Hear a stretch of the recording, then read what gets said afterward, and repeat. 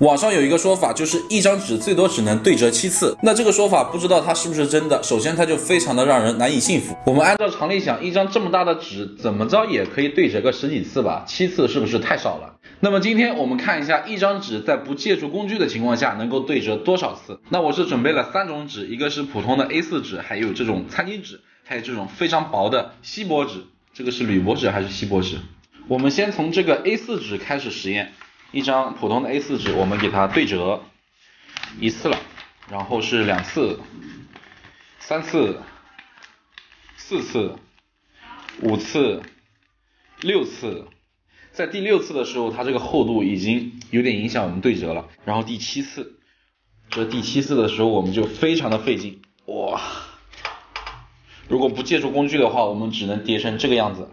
那叠成这样之后，这个形状、这个厚度已经不允许它再对折下去了，还真的是七次啊！那看来网上这个说法它并不是空穴来风啊。不过我们还有更好的这种餐巾纸，它首先非常薄，其次呢它还非常的柔软。我们看一下这个餐巾纸能不能突破七次的限制，一次、两次、三次、四次、五次，哇，非常的容易，六次、七次。哇，八次，第八次不行了，在第七次的时候，它就变成这种，已经接近一个圆形了。然后我想叠第八次的话，怎么也叠不起来了，这有点让人难以置信啊。不过我们都知道，这个餐巾纸它是有好几层的，应该是有三层吧。然后我们把这个最薄的这一层给它剥下来，看一下用最薄的这一层能不能突破七次的限制呢？好，我把这个最薄的这一层给它扒下来了。看到没有，更薄的一张餐巾纸，来叠一下啊，一次、两次、三次、四次、五次、六次、七次，我感觉有戏，这是第七次，还非常的薄啊，第八次，哇，这个三分之一厚度的餐巾纸成功的突破了七次的限制，你看叠了第八次是这样的。那如果想要叠第九次的话，是完全不行了。第八次再对折一下是这种状态，这种应该也不算是对折了吧？所以我们知道了，只要是纸张它足够的薄，就可以突破七次的限制。接下来我们试一下这种更薄的锡箔纸啊，看看用这种锡箔纸能不能突破八次。我们把这个锡箔纸裁一段下来。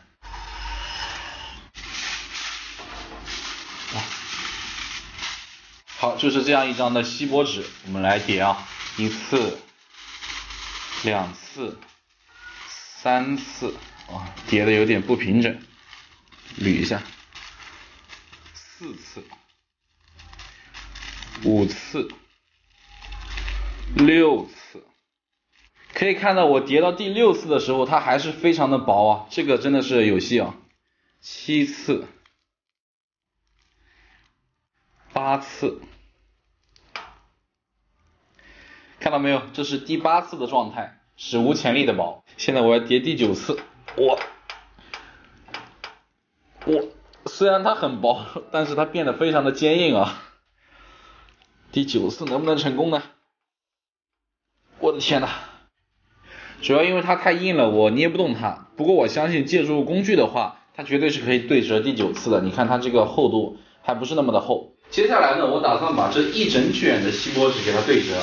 看看在这个长度增加的情况下，能不能多对折几次？这个长度应该是有五米左右吧，好像这个场地有点不够啊。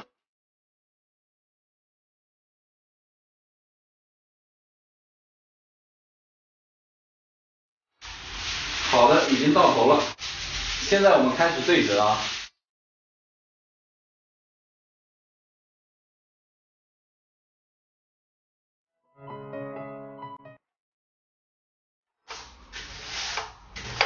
哇，成功的对折了一次，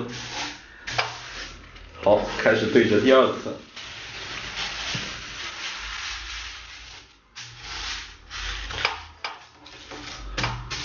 第三次，才三次啊，就已经变得这么短了，四次，五次，六次，这是第六次的状态。七次，八次，九次，哇！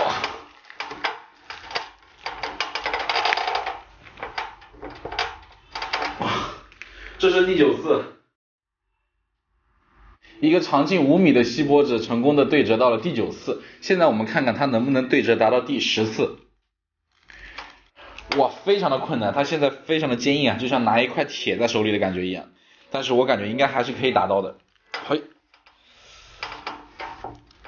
嘿，我，看一下，从这里看的话，应该也算是对折了十次。这边的话就有点翘，现在它完全就是一块铁了。那么我今天是用这个长达近五米的锡箔纸对折了十次，我感觉好像还挺有成就感的。所以只要是在纸张它够薄并且够大的情况下，它对折的次数是可以稍微的增加一点的，并不局限于七次。好吧，那这个比较无聊的视频就到这里吧，我们下期再见吧。